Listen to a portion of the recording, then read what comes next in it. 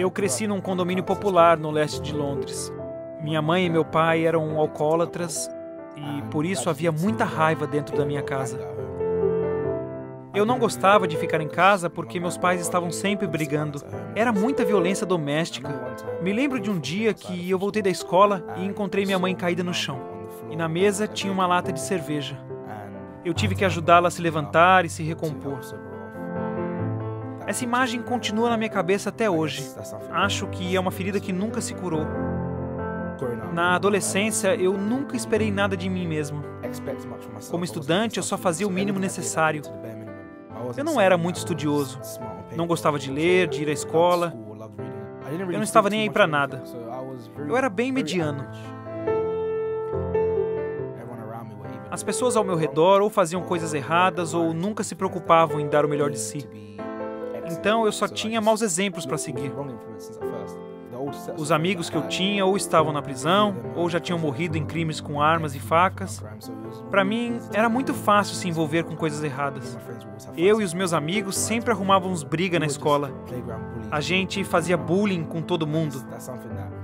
Era uma coisa que eu gostava de fazer porque eu via a violência em casa e transferia para o mundo lá fora. Quando eu tinha 17 anos, meu pai foi internado no hospital. Ele era diabético, então eu pensei que era apenas mais uma crise da doença. Quando eu voltei da escola, parentes e amigos estavam com minha mãe e eu recebi a notícia que meu pai havia morrido. Ele morreu em função do alcoolismo.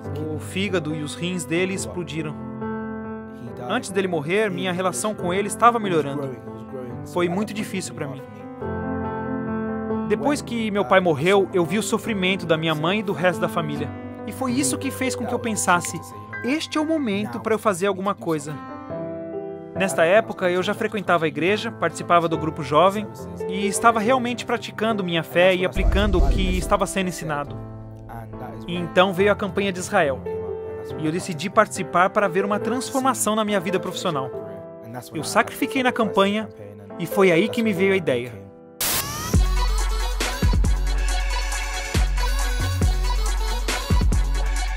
Eu tive a ideia de bater nas portas das pessoas e perguntar o que elas fizeram para se tornar bem-sucedidas, para que eu pudesse aplicar esses exemplos na minha vida. Esta é uma história extraordinária. Red, você cresceu no leste de Londres, perdeu seu pai com 17 anos e você simplesmente decidiu bater nas portas das pessoas. Eu pesquisei no Google as áreas mais ricas de Londres e Kensington e Chelsea apareceram. Eu fui até lá e comecei a perguntar para as pessoas na rua se elas tinham um carro bom, por exemplo. O que você fez para conseguir esse carro? O que eu realmente queria era descobrir a forma de pensar dessas pessoas, que habilidades elas tinham. Quando eu fui para o altar para sacrificar na campanha, eu procurava uma direção. Eu sacrifiquei tudo que eu tinha. Era algo que usava todos os dias e era muito importante para mim. Eu sacrifiquei porque eu queria Deus na minha vida. Eu queria ver as promessas de Deus se realizando na minha vida. Logo depois, numa reunião de segunda-feira, a ideia de bater nas portas das pessoas começou a ecoar na minha cabeça. Vai e bate na porta das pessoas. Isso não saía da minha cabeça, até que um dia eu disse para mim mesmo: eu vou seguir essa ideia. E foi então que tudo aconteceu. Bater nas casas das pessoas foi assim. Alguns fecharam a porta na minha cara, outros me mandaram embora. Uma pessoa até chegou a pensar que eu ia roubá-la. Algumas pessoas foram receptivas, mas outras nem tanto. Até que eu bati na porta do senhor e da senhora Price. Elizabeth, quando você abriu a porta, o que você pensou? Eu olhei para o Red e ele estava sorrindo. E porque ele imediatamente me explicou o motivo de estar batendo na minha porta, eu pensei: essa é uma pessoa que está falando a verdade. Essa é uma pessoa autêntica, que realmente quer saber como melhorar sua vida. Você então o apresentou ao seu marido, que é um alto executivo do setor financeiro. Que conselho ele deu naquele dia?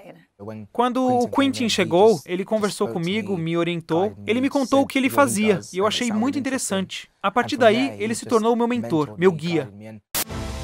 Eu bati na porta dele e ele me disse: Venha até a minha empresa por um dia para ver como as coisas funcionam por lá. Eu fui, gostei e depois voltei para fazer uma semana de estágio, enquanto eu ainda estava estudando. Depois do estágio, eu tive uma reunião com o Sr. Price e eu perguntei: o que eu preciso fazer para trabalhar nessa área? E ele respondeu: Reggie, eu te aconselho a fazer uma universidade, porque te dará mais oportunidade de ser o melhor candidato. Um mês depois, quando eu recebi meus resultados finais da escola, eu entrei em contato com várias universidades, porque até então eu não tinha me inscrito em nenhuma. E eu consegui uma vaga para estudar economia, e também estudei mandarim. Eu fiz vários estágios na universidade, eu fui representante no campus para o Instituto de Contabilidade, era um dos estudantes que representava oficialmente a minha universidade, e também por três anos fui representante da Faculdade de Economia. Eu me formei em economia no ano passado e desde então estou trabalhando no Centro Financeiro de Londres. Atualmente eu trabalho para uma grande firma de gestão de investimentos. Eu estou no setor de finanças corporativas, gerenciando o investimento de dinheiro de diversas instituições para fazer o capital delas crescer.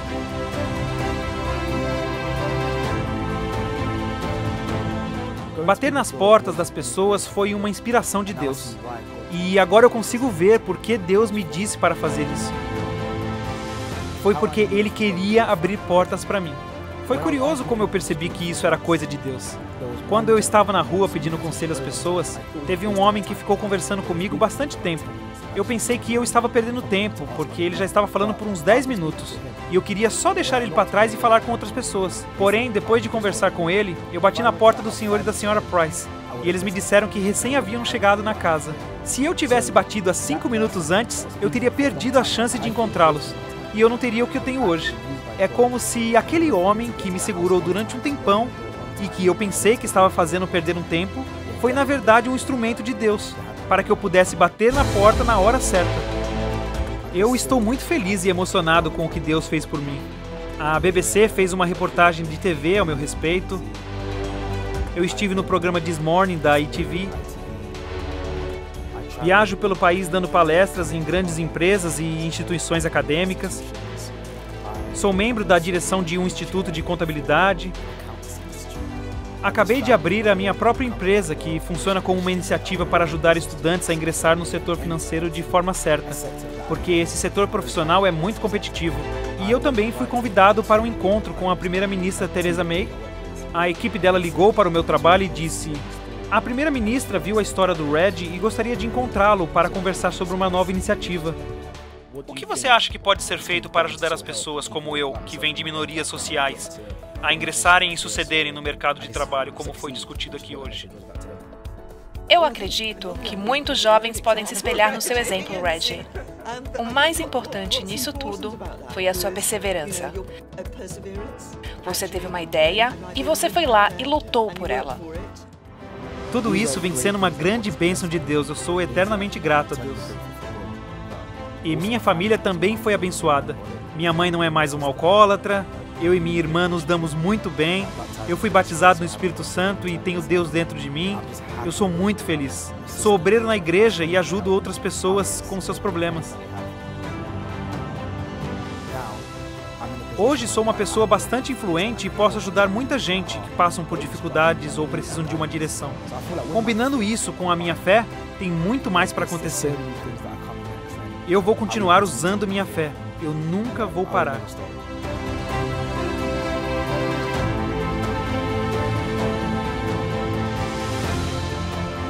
Eu já participei de muitas campanhas e já fiz muitas coisas para provar a Deus que eu confio nele e quero ser abençoado. Mas essa campanha de Israel foi o começo de tudo. Ver meu sacrifício naquela época e também o quanto mais eu posso sacrificar agora é uma sensação indescritível.